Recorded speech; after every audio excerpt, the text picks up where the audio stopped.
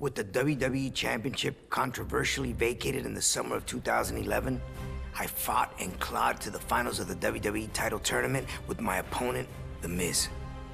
Had to face three different opponents to get to the top of the tournament. Dolph Ziggler, R-Truth, and then The Miz. I hate The Miz inside that ring. Cause he's very dangerous. He'll do anything to win. Maybe we weren't in the middle of a huge personal rivalry, but there was no chance I was going to let The Miz stand in my way of finally winning the WWE Championship.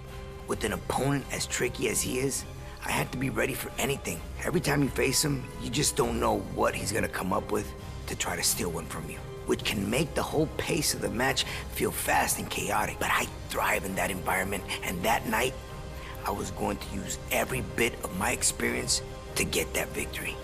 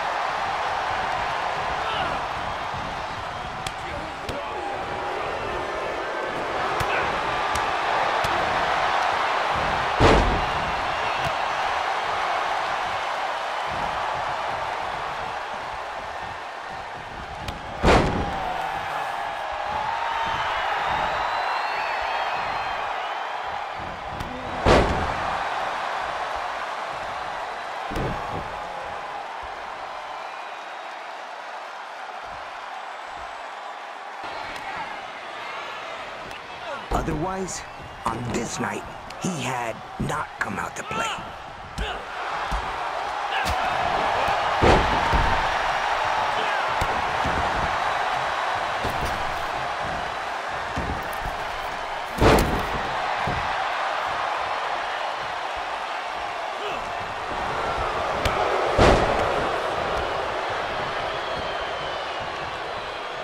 take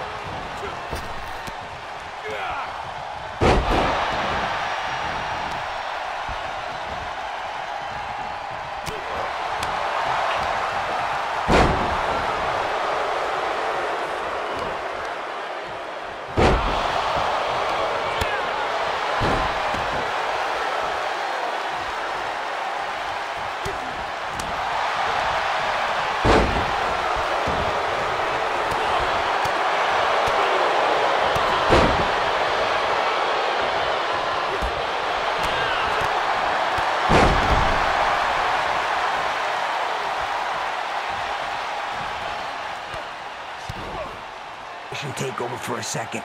And that DDT that he hit me with had me seeing stars. Maybe he didn't get the pin there. I don't know. But if I made another mistake like that, I was gonna pay. Miz would be leaving the arena with his second WWE Championship.